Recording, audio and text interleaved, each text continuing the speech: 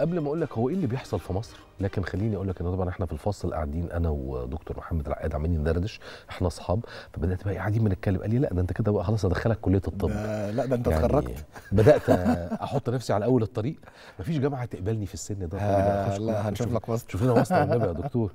خليني أرحب جدا جدا جدا بدكتور محمد العقاد مدير إدارة الرعاية الثانوية والثالثية بالهيئة العامة للرعاية الصحية الأول منور. منور بيك. وأنا دايما بسعد والله فعلا لما بكون معاك. أنت قبل ما تكون آه، يعني من أشطر المذيعين اللي الواحد شافهم ربنا يحفظك. آه، أخ وصديق وراجل آه، بيحب بلده شرف وبيحب شرف. آه، المواطن المصري فعلا وبيدافع عن حقوقه. فده دايما بيخليني أكون سعيد بجد إن أنا أكون معاك سواء تليفونيا أو على الهواء. أنا كده خدت البكالوريوس بتاع طب كده أنا مبسوط كده. دكتور إحنا عايزين نتكلم حبة على مشروع السياحة العلاجية اللي هو نرعاك في مصر. هايل. أنا من غير ما أخش في أسئلة كتير وأضيع وقتك. هو ده اللي في بالي.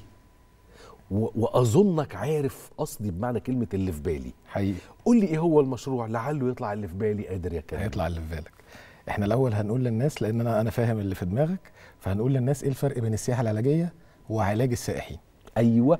عشان حلو دي الناس بتتلخبط فيها. ماشي. هو بيفتكر إن هو في واحد جاي أصلا يتفسح بطبيعته فتعب فعالجناه فدي سياحة علاجية. لأ ده اسمه علاج السائحين. صح. يبقى كده عشان الأول نحط النقط على الحروف من الأول الناس تبقى فاهمة معانا. علاج السائح.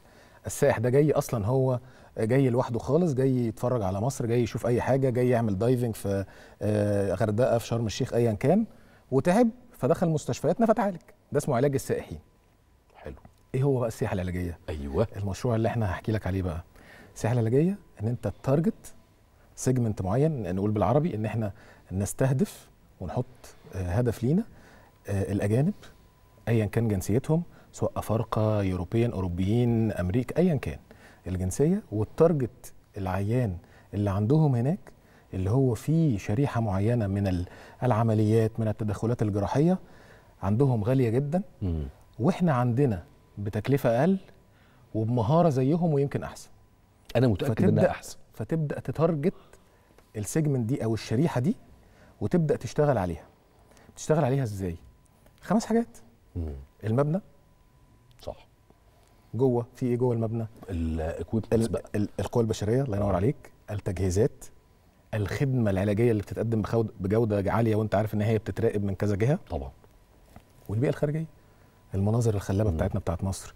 لو في شوية آه، museum آه، متاحف أو آثار فيبقى إحنا كده الخمس حاجات اللي بنشتغل عليهم. المنشأ نفسه وجواه ثلاث حاجات وبره العوامل الخارجية.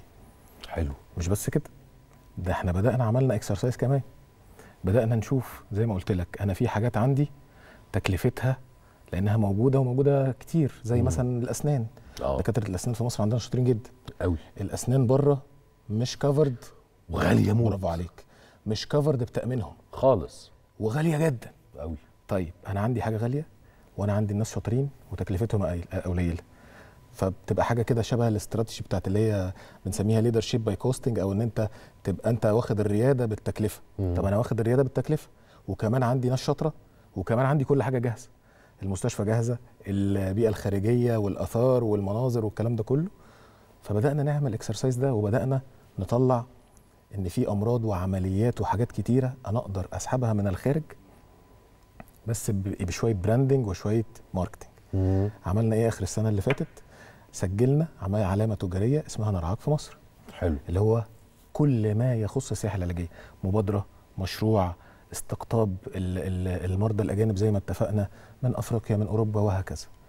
وبدأنا فعلا الفترة اللي فاتت دي يعني الحمد لله شرم الشيخ مستشفى شرم الشيخ الدولي مستشفى الأقصر الدولي هم دول دلوقتي بقوا يعني شبه ايكون أيقونة كده إن الناس بتجيلهم مخصوص.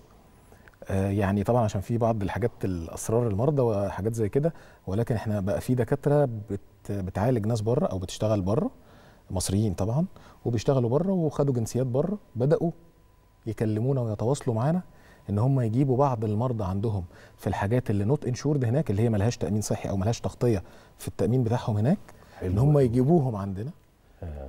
آه، ويبقى هو ده زي خبير أجنبي بيجي فكسبنا حاجتين. بقى عندي خبير أجنبي واحد بيشتغل بره already.